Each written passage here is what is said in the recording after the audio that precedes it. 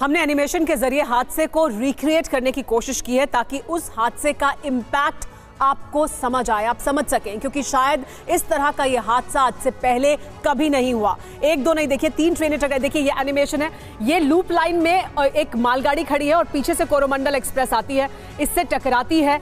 इसके ऊपर जाकर जो डिब्बे हम आपको लगातार दिखा रहे हैं, कैसे मालगाड़ी के ऊपर जाकर डिब्बे चढ़ जाते हैं। लेकिन इसी बीच एक और पैसेंजर ट्रेन आती है और वो फिर वापस कोरोमंडल जो डीरेल हो गई थी, उससे टकराती है। तो इस तरह से ये तीन ट्रेनें टकराती है। देखिए, ये कोरोमंडल एक्सप्रेस आ रही है यहाँ पहले से लूप लाइन पर मालगाड़ी खड़ी थी, जिससे टकराई है, क्योंकि डीरेल हुए डब्बे और लूप लाइन में खड़ी मालगाड़ी से जाकर टकरा गए।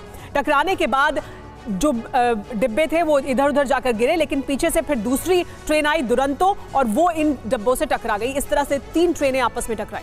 एनिमेशन की मदद से आपको समझाने की कोशिश की जा रही है कि किस तरीके से हुआ ये रेल हादसा। हालाँकि इसके लिए उच्च स्तरीय जाँच कमेटी का गठन भी कर दिया गया है। बालासोर रेल दुर्घटना के बाद एक ही परिवार के तीन सदस्य सुरक्षित अपने घर लौटे। सुनिए कैसे परिवार के लोगों की आँखों के आगे मौत का मंजर गुजरा। अचानक से इतना बड़ा लग रहा लग रहा है कि तूफ़ान आया है पूरा चक्का उक्का ऐसे ट्रेन पूरा आदमी सब इधर में पूरा दबा गया था इधर में भी दबाया था। हम लोग तो इधर में बैठे थे मगर बस पकड़ के बैठे थे थोड़ा।